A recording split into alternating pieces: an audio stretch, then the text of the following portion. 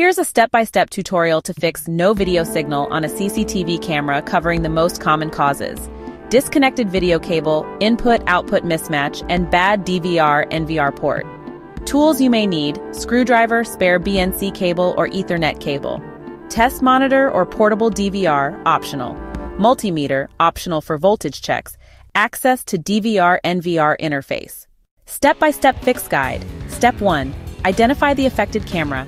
Check your DVR-NVR monitor or software interface to identify which channel has no video. Note the camera number and cable label, if any. Step 2. Check the video cable connection. For analog, BNC. Ensure the BNC connectors are properly twisted slash locked into both the camera and the DVR.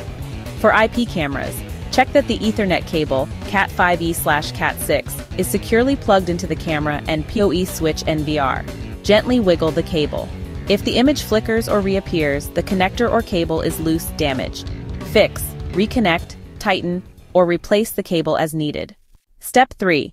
Swap the camera to a different port plug, the same camera into a different video input port on the DVR NVR. If the video shows up, the original port is likely faulty. If it still doesn't work, the issue may be with the camera or cable. Fix.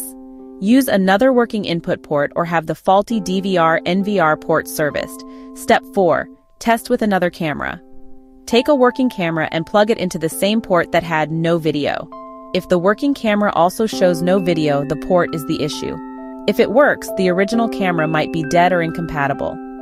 Fix. Replace the faulty camera or adjust compatibility. Step 5. Check video format compatibility analog versus digital. Make sure your camera matches the DVR type, CVBS, standard analog, HD TVI, HD CVI, AHD, HD analog, IP, digital network camera. Fix. Use a compatible DVR or hybrid DVR that supports your camera's format. Step 6. Power check. Verify the camera is getting power. For analog, use a 12V DC tester or multimeter at the camera's power input. For IP, check if the camera is powered via a PoE switch or power injector. Observe for LEDs on the camera which indicate power. Fix. Replace the power adapter, cable, or switch if no power is detected. Step 7. Reboot the DVR NVR. Unplug the DVR NVR from power for 10 seconds, then plug it back in. This resets hardware and may resolve signal handshake or firmware glitches. Step 8. Check DVR NVR settings. Log into the system and check if the channel is enabled. Ensure the correct video format or resolution is selected. Look for channel status indicators. Fix. Adjust channel settings, format, or firmware if needed. Step 9. Test with external monitor, optional.